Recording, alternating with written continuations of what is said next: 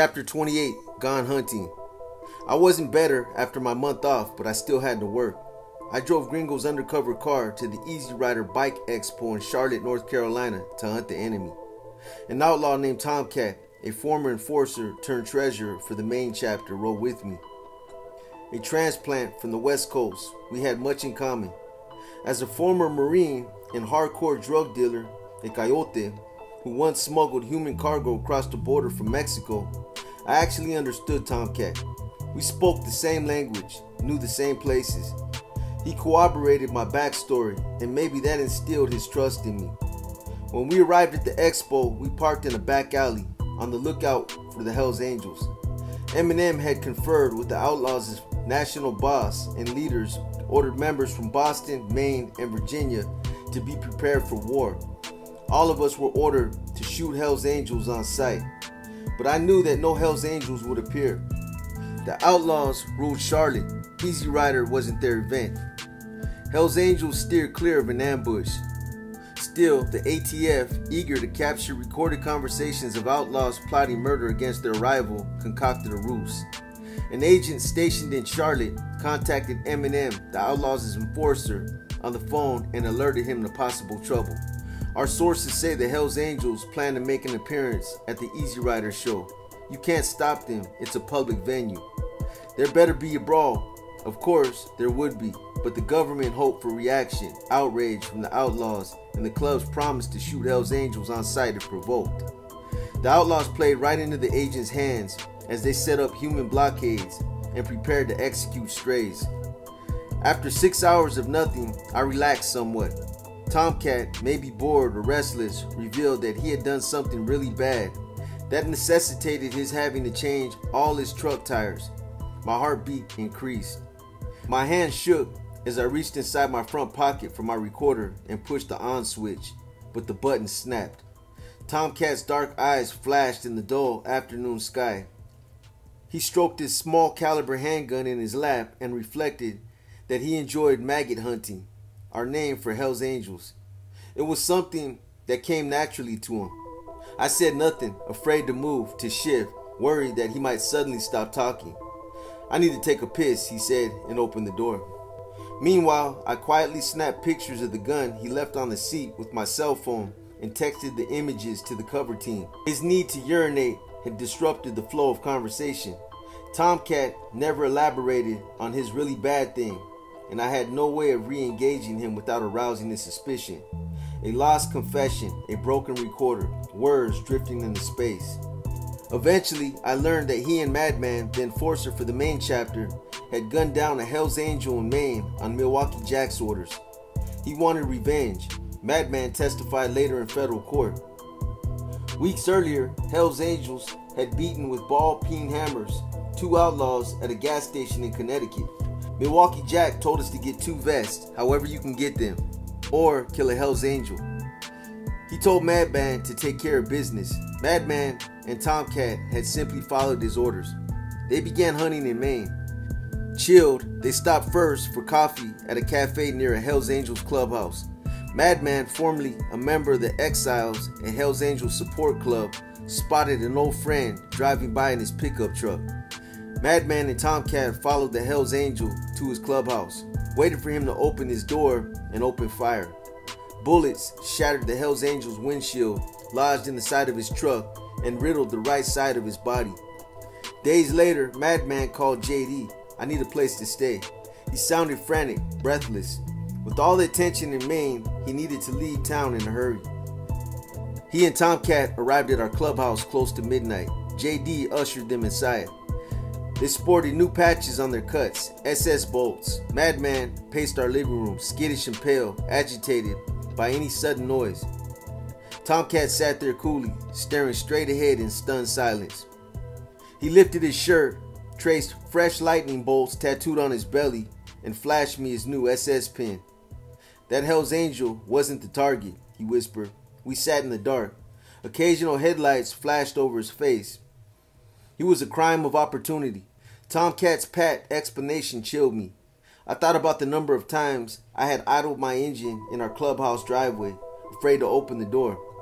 The Hells Angels shooting had been so random, so quick.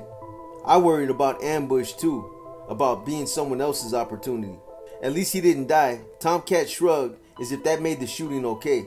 No, but the Hells Angel would be on a ventilator for life. Tomcat bunched up his face, looking like a child who had just cut the tail off a cat. Not so bad, the animal still had legs and a head. Let's suppose that Maine thing was done by an outlaw, he continued. I'll tell you how it happened. I couldn't believe it. He was actually going to confess. The HA looked at him funny. What do you mean? Looked at him like, what the fuck you looking at, bro? And then bam! Tomcat mimicked the Hells Angel's surprise and then the outlaw's reaction as if he were staring at himself in the mirror, trying on different expressions. I'm not afraid of the Hells Angels. He hugged his arms around his chest. I'm afraid of the cops. He displayed the hilt of his gun tucked into his waistband. Shit. I'm afraid to mow my lawn. I take my gun with me when I take a piss. I swallowed and pretended to be sympathetic. They're not coming for you, bro. They're coming. Tomcat's eyes watered. I can feel them. He described them like ghosts. Ever try shooting a ghost? My gun jammed, Madman explained later in his federal trial. Tomcat wanted to finish him off. He emptied his gun into the Hells Angels truck and reloaded. But Madman objected. I wanted my gun to jam. I pulled lightly on the trigger. Madman demonstrated for the jury. Tomcat, he's the madman. Following the shooting, Madman tossed their guns over a bridge into a raging river. He gazed at the panel with large sleepy eyes, his head pronounced and unframed by a skull cap. In bold black ink across his throat, he had tattooed Mom. You feel let down? The prosecutor added. For all of Madman's bravado, none of the outlaws had visited him in prison. A little, Madman shrugged. Once a former wrestler, he shriveled on the stand. You feel used? I followed orders. Milwaukee Jack told you to sell drugs? He said times are tough. Brothers need to do what they need to do to get by. Even kill. Madman didn't respond, didn't disclose that Milwaukee Jack's orders to kill had been revised, that he was supposed to just say, fuck him up. Murder was expensive. The outlaws devised a scheme to increase club profits. Little Dave, the Copper Region vice president, suggested we install illegal gambling machines in our Petersburg clubhouse. After all, the Lexington chapter had successfully recouped nearly $24,000 in profits over the last eight months. The Outlaws used the funds to pay club dues and outstanding bills. If we owned such machines, little Dave coaxed, we too could earn revenue for our chapters. It sounded like a good idea, but not for the reasons little Dave recited. We figured with the gambling machine in our clubhouse, we could entice outlaws to play right into our hands that was the fascination of undercover work. Improvisation sometimes led to chance revelations, to exactly the criminal enterprise we hope to label and ultimately convict the outlaws. The machines arrived the next day. They resembled video arcade machines, but a simple switch converted the screens to poker and blackjack. The owners, stone faced mafia thugs, reviewed with us the operating rules. They expected to receive 40% of our profits, one wore diamond studs in his right lobe, a garish ring on his pinky, and a thick gold necklace that surrounded his throat like rope. The other looked half formed, as if he had spurted from a tube into a fleshy blob and forgot to stretch. Smashed in and undefined, he had a lazy eye that made it impossible to look at him when he spoke. I added gambling to my job description and regularly fed the machines with government funds, mindful of entrapment. Soon, other outlaws who visited our clubhouse took my cue. And once a month, the mafia men returned to collect. Meanwhile, Eminem grumbled that he needed help with the background investigations. He complained at a recent church meeting about being short staffed and the paperwork was mountainous. Hearing Eminem's whines, I proposed to Gringo that he volunteer for the position at the next boss's meeting. Why not? It was a way in, a way to manipulate the game and make Eminem think it was his idea. Gringo insisted to Eminem that I would be great since I had paralegal experience. I slid into the opportunity and soon met with Eminem regularly to review the club's records.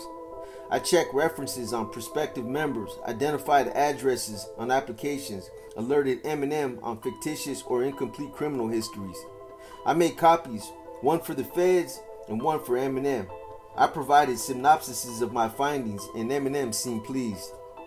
And with this paperwork in order, he could now turn to more pressing issues, killing Hell's Angels. At first, he proposed that we randomly burn houses around the Charlotte and North Carolina clubhouses and smoke them out. The Hells Angels might plan to use them as fronts to launch attacks against the outlaws. Snuff suggested we start with the Hells Angels tattoo shop in Richmond, adding that killing the owner would be a great way for us to earn our SS bolts. This was war, not crime. Snuff suggested we start with a high powered rifle from the bed of a pickup truck and blow the Hells Angels away while he smoked on his back porch. He was tickled by his ingenuity, then he frowned. If the rifle was too cumbersome, he could teach us how to make bombs. Mostly, he wanted our commitment. The murder should happen next week, he said, after he had a chance to obtain professional grade explosives. Snuff seemed winded by the conversation, and I realized then that I was looking at an old man. In his mid 50s, Snuff aged like a dog, seven years at a stretch. He had been a criminal a long time, had already served 12 years in prison for initiating violent acts against a member of another motorcycle gang. Killing was breakfast conversation, as significant to him as discussing coffee brands. He expects us to kill next week, I frowned.